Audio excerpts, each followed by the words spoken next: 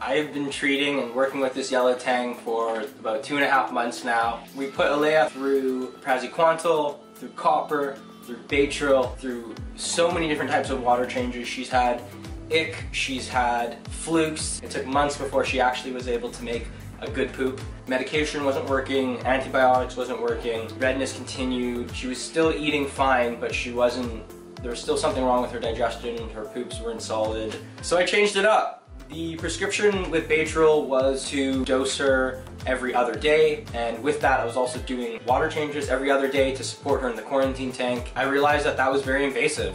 I was essentially putting her through a lot of stress almost every day. So deciding that I wasn't gonna do medication anymore and try and focus more on water quality, I got rid of the PVC, I put in rocks, I started adjusting the water changes, and after about four or five days, this started to work. There have been some amazing improvements and I'm very excited to show you guys where we're at. We're gonna take a look at the temporary tank that I've put both Rupert and Alaia in. We're gonna see how they've been doing. If you know anything about introducing tangs into tanks, they are kind of the top of the food chain usually. They are very aggressive, they set their territory and they will defend it with their lives, with their little tangs or their um, little surgeon uh, scalpels by their tail. If I were to just take a Alaia and put her into my main display with an established powder blue tang, there would more likely be some serious aggression issues and the fish that I just spent two and a half months quarantining and treating and getting to be healthy could be at risk again.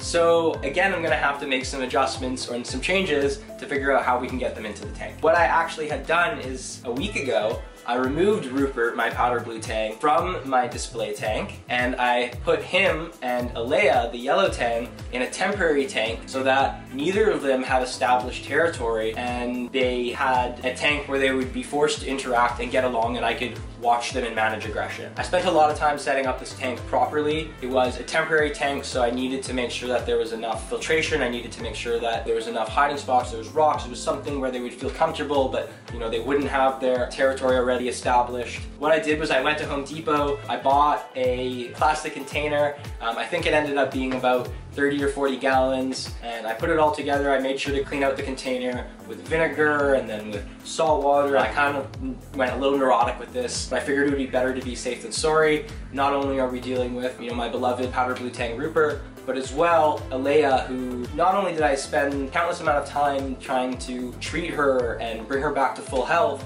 but also with the recent ban on the export of wild yellow tangs from Hawaii, the stakes are a lot higher. So these two fish have been acclimating for about 40-45 minutes now. So now we're actually gonna move them in one by one.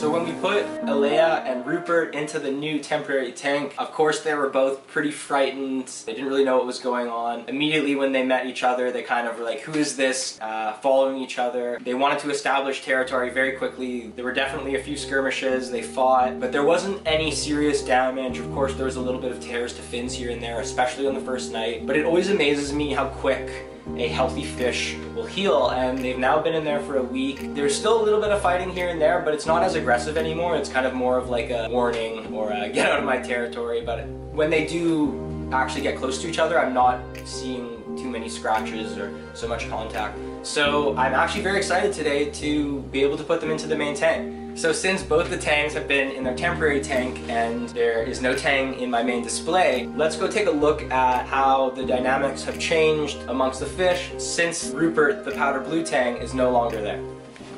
So this tank is stocked with my two clownfish, a one-spotted fox-faced rabbitfish, three pajama cardinal fish, two peppermint shrimp, and of course, my green spotted puffer Charlie. Since Rupert the powder blue tang is no longer in this tank and there's no overlord, the clownfish have definitely come out a lot more. They aren't fully hosted in their anemone yet, however, I've noticed that they're exploring the tank way more than they used to. The cardinal fish are kind of going all over the place. Charlie, my puffer, he spends most of his time over here and he kind of does whatever he wants. The one fish though who I have to say I think really misses having another roommate is Jimmy, our one spotted foxface. I can't help but feel like this fish is a little bit depressed without his buddy in there. So I'm very excited to be able to put both fish in here today um, and see how things change and how everybody gets along. So without ado, I think at this point, let's go get the fish ready to go to the tank.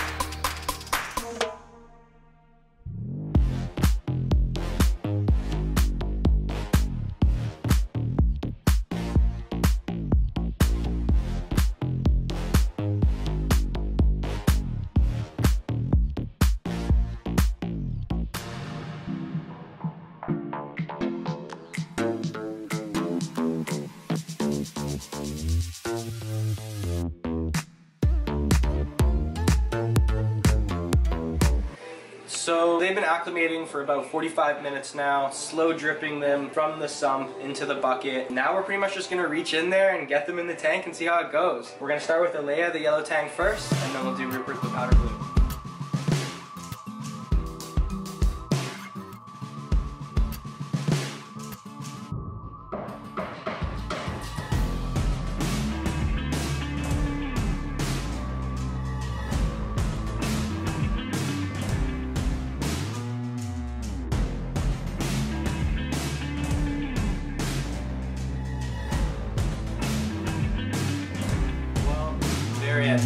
That was a little bit stressful, but I'm super happy that I finally have everybody in the tank. There was some immediate aggression between Jimmy, the one-spotted fox face, and Alaia. You can see a little bit of it there. Jimmy managed to nip her a little bit on her anal fin, shocked her a little bit. She kind of was like hanging out in the corner for a minute or so, but she is now swimming around and exploring and getting to know the rest of the tank. Rupert's kind of just like back to business. Uh, it took him a minute to just be like, what's going on? And then he kind of was, you know, back at his old shenanigans. Happy to have everybody back in the tank. I'll continue to keep you guys updated with how Alaia, our yellow tang, is doing, and Rupert, our powder blue, and everybody else that's in the tank. If you guys have watched the series up until now, thank you guys so much for checking in. If you haven't, definitely go back, check the other videos from this series, and you might be able to learn a little bit about the process I learned to quarantine my fish and make sure that they are healthy and capable of going into a community tank successfully. Thank you guys so much for watching, and always remember to like and subscribe, and we'll see you in the next one.